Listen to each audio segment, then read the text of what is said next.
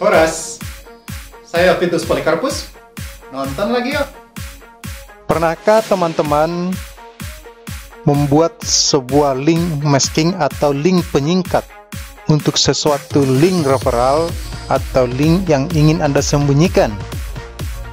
Ketika kita sudah memiliki domain, misalkan domain utama saya adalah vituspolikarpus.com Vituspolikarpus.com adalah domain pertama yang saya beli atas nama diri saya sendiri.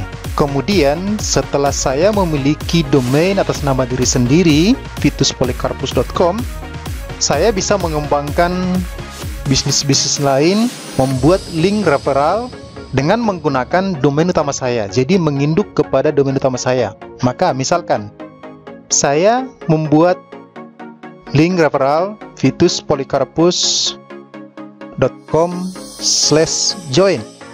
Ketika saya menuliskan vituspolikarpus.com slash join ke mana dia perginya? Maka dia akan diarahkan langsung ke halaman khusus untuk join di Junes Global.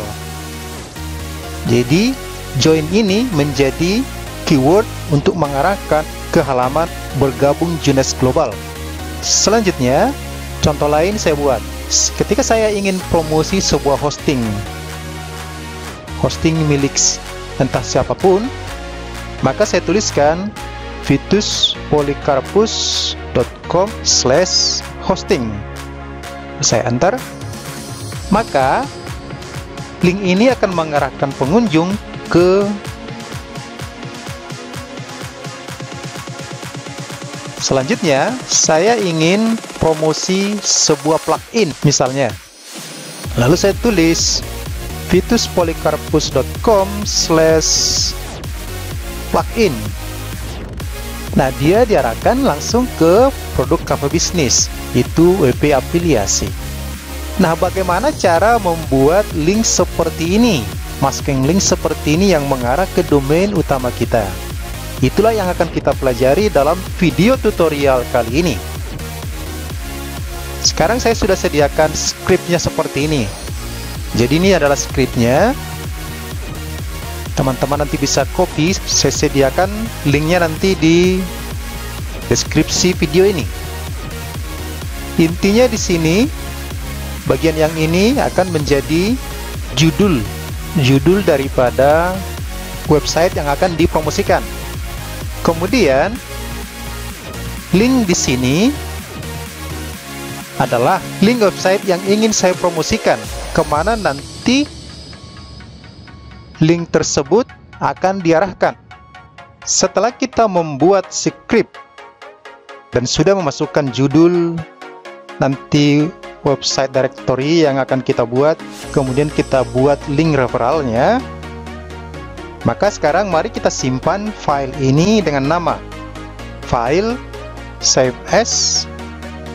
Kita buat di satu folder dengan nama keyword yang kita inginkan sesuai dengan judul website tadi yang kita buat. Kita buat di satu folder, buat new folder dengan nama keyword yang kita inginkan. Saya menginginkan keyword YouTube add-on.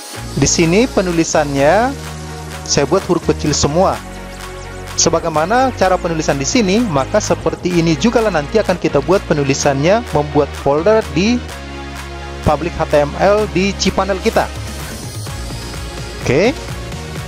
Sudah ada foldernya. Nah, kita tulis namanya index.htm. Save. Oke, kita tutup ini. Kita tutup notepadnya. Sekarang kita coba buka foldernya tadi di sini YouTube add-on. Di sini sudah ada index HTML. Nah, sekarang tugas kita selanjutnya adalah mengupload file ini ke cPanel. Di cPanel nanti kita buat satu folder namanya YouTube add-on, lalu kita upload file index HTML ini ke sana. Silakan masuk ke cPanel Anda.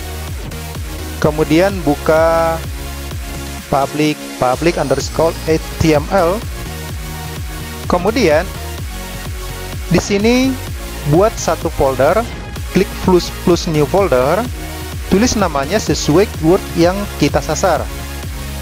YouTube add-on. Sesuai dengan nama folder yang kita buat tadi di sini di script penyingkatnya YouTube add-on. YouTube add-on nanti akan dimasukkan di directory public underscore html create new folder. Nah kita lihat di sini YouTube add-on sudah ada foldernya kita buka. Di sini this directory is empty. Nah, sekarang tugas kita adalah mengupload file index.index.htm kita upload ke folder YouTube add-on ini. Klik upload sini. Lalu klik select file, kemudian nama filenya index.htm tadi yang sudah Anda simpan di YouTube di folder YouTube add-on, silakan open. Nah, sudah berhasil. Go back home sekarang di sini sudah ada satu file namanya index.htm. Nah, apakah indeks ini sudah berfungsi, file ini sudah berfungsi? Mari kita masuk ke browser kita. Kita coba tuliskan nama domain plus keyword yang kita buat tadi di script vituspolycarpus.com slash youtube add-on vituspolycarpus.com slash youtube add-on kita enter. Sekarang di sini YouTube add-on judulnya. Dia diarahkan ke TubeBuddy. Sehingga pengunjung bisa nanti diarahkan ke sini untuk mengunjungi situs ini dan saya secara tidak langsung berpromosi untuk mempromosikan situs ini. TubeBuddy ini. Inilah menjadi link referral saya vituspolycarpus.com YouTube add-on. Ini menjadi masking link.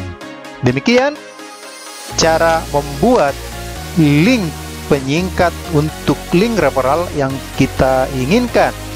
Saya ulangi satu lagi sekali lagi vituspolycarpus.com slash youtube add-on Baik, sudah berhasil. Extension ini nanti akan kita gunakan untuk mengoptimasi channel YouTube kita. Sampai bertemu di tutorial selanjutnya bagaimana cara bagaimana cara menggunakan extension TubeBuddy ini. Saya Titus Polikarpus. Subscribe atau berlangganan di channel YouTube ini. Klik like. Tuliskan komentar Anda.